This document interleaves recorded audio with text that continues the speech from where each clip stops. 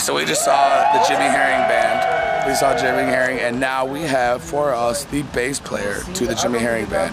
But is going to introduce himself. Uh, I'm Neal Fountain. I'm currently holding down the bass position for the summer tour for the Jimmy Herring Band. Oteil Burbridge did the first part of the tour, which I'm sure everybody knows. He's the bass player for the Allman Brothers Band. A fine gentleman and a fine player. There, I wasn't originally scheduled to play bass on this tour, but the bass player, Matt Garrison, was another. Uh, he's a world class bass player. His, his dad was Jimmy Garrison. who played with Coltrane's quartet. Right on. And Matt's a phenomenal electric bass player. He was supposed to do this, and he had some family issues. And, well, I got this music in uh, a week and a half ago, and I fucking had to go to work.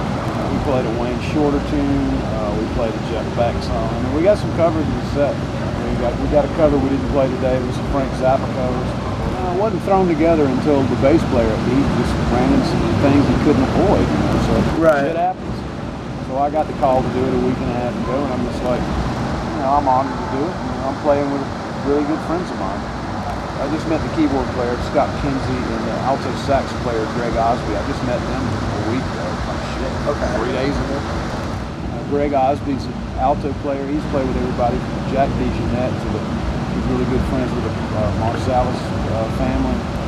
Jimmy and I have known each other for years. We met in the early 90s, and I was playing a gig, and they were playing a gig, the Aquarium Rescue Unit. I was playing in a little local band. I can't even remember the name of it, but uh, the Aquarium Rescue Unit was, uh, they were the headliner of that festival. It's in Macon, Georgia. That's when they had the band with Bruce Hampton and Oteil Burbridge. Jeff Sipe was a drummer, and uh, Matt Mundy was a mandolin player, and of course Jimmy was playing. And, uh, you know, we met at that gig in '91 or shit, '90 something like that. Yeah.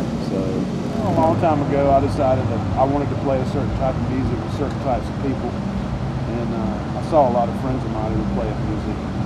They were doing these gigs. They'd get home from the gigs and just get sometimes they hated music. You know, they just hated it. And I was just like, I can't do this. So I started a couple of businesses of my own. I play gigs I want to play. Right. You know, that's before any of them did other projects. Right. That kind of stuff. But we met there, and I met uh, Jeff Sipe there. Jeff and I are really good friends. I know Jeff a lot better than I know Jimmy.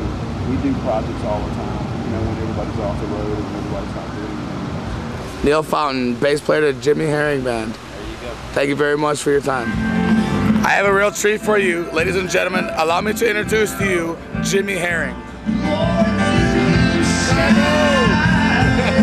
Jimmy, we've been we've been over here talking to Neal Fountain, and he's been telling me about a pleasure it has been working with you. Oh, he's, he's one of my favorite people. And, I love Chicago. Hey, everybody. Jimmy, you are an amazing man. Oh, thank you so much. Thank you so much for coming out here and playing for us. Oh, we had a blast. Thank you for having us. Jimmy, Jimmy, you are the man.